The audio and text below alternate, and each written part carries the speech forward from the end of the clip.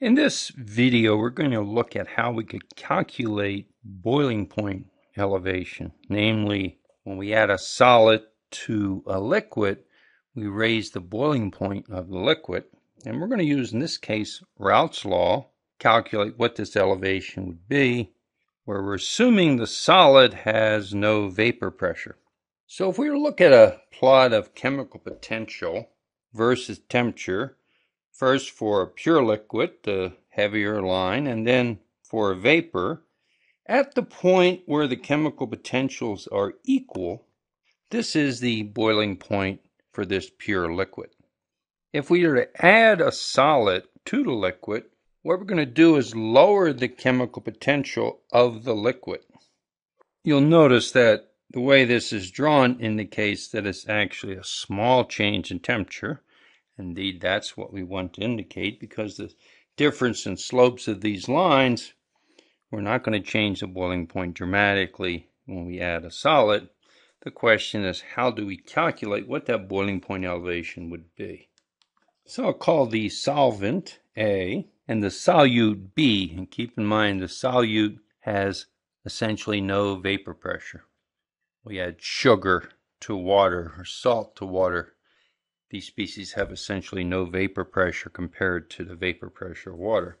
So the fact is that chemical potential is equal in phases, they're in equilibrium. And this is how we derive Raoult's law is from chemical potentials. And we end up writing in terms of fugacity. So we talk about fugacity in the vapor phase for component A is equal to fugacity of component A in the liquid phase, and we use this notation to indicate that this is the solutions. And for the system we're looking at, this is a pure component. We just have the solvent in the vapor phase. Ideal gases allows us to say this is a mole fraction of A times total pressure, which is just equal to the total pressure because fact that this is non-volatile means the mole fraction of A is equal to 1. The right side then would be the mole fraction of A in the liquid phase, in general an activity coefficient for modified Raoult's law, and the saturation pressure of A at the same temperature. Now if the mole fraction of the solute is small, so mole fraction of A is close to 1, then gamma A is going to be approximately 1. And we have the general simplified version Raoult's law. And so this means we should be able to calculate, if we know the mole fraction B, the solute added. And notice this calculation is going to be independent of the chemical properties. That is, it only depends on the mole fraction. Of course, that depends on the molecular weight of the properties. So the same mass does not give the same elevation and boiling point, but the same mole fraction does.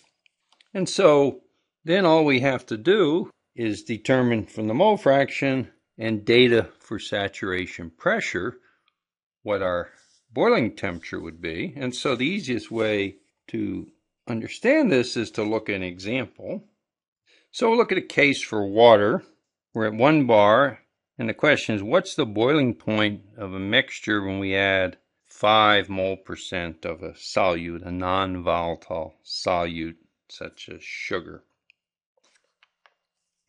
So if we use Raoult's law, the pressure, which is 1 bar, the mole fraction of A times the saturation pressure, and the mole fraction of A is 0.95 if the mole fraction of B is 0.05.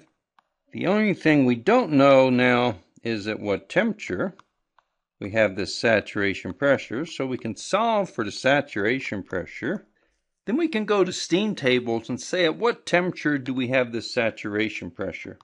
And I use online steam tables that have accurate fine gradations and, and values to make it easy without having to interpolate on another type table. And it says the boiling point is 101.1 degrees C. So delta T is only 1.1 degrees C for 5 mole percent of a non-volatile solid being added to water.